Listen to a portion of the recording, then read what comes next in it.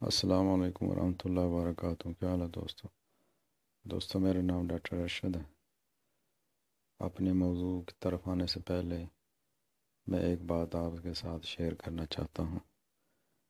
ایک مسلمان جس کے دونوں آنکھیں بھی نہ ہوں، دونوں پاؤں بھی نہ ہوں اور دونوں ہاتھ بھی نہ ہوں، ایسے شخص کو بھی نماز کی معافی نہیں ہے۔ اور جو اللہ کے فضل کرم سے صحت تندرست ہو، اس کو کیسے معافی ہو سکتی ہے؟ سارے بھائیوں سے گزارش ہے کہ پنجگانہ نماز پڑھا کریں۔ اب ہم اپنے موضوع کی طرف آتے ہیں۔ بہت سارے ایسے شخص یہ شکایت کرتے ہیں کہ ہماری پنڈیوں میں درد رہتا ہے اور رات کو جب سوتے ہیں تو پنڈیوں میں درد ہوتا ہے اور بے چینی ہوتی ہیں۔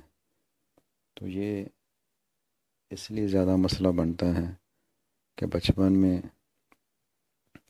کوئی ایسی چیز کوئی ایسے دانے دانے وغیرہ جو نکلنے چاہیے تھے، ایلوپیتھک دوائی کھانے کی وجہ سے وہ اندر دب گئے ہیں۔ اب وہ جدھر جائیں گے، وہ مسئلہ پیدا کریں گے۔ اور زیادہ تر ان کا جو ہوتا ہے، وہ پنڈیوں میں ہوتا ہے مسئلہ۔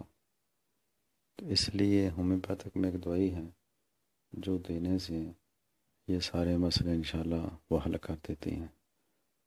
دوائی بڑی مشہور اور عام دوا ہے، ہر سٹور سے مل جاتی ہیں۔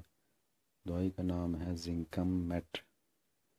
Zincum met thirty طاقت لینی ہے اور صبح، دوپہر، شام دو دو قطرے لینی ہے کوئی بھی کمپنی کی ہو، مسعود کی لے لیں، جرمن کی لے لیں۔ انشاءاللہ ایک ہفتے کے اندر آپ دیکھیں گے کہ آپ کو کافی افاقہ ہو جائے گا۔ انشاءاللہ پھر ملیں گے، اپنا خیال رکھیے گا۔ السلام علیکم۔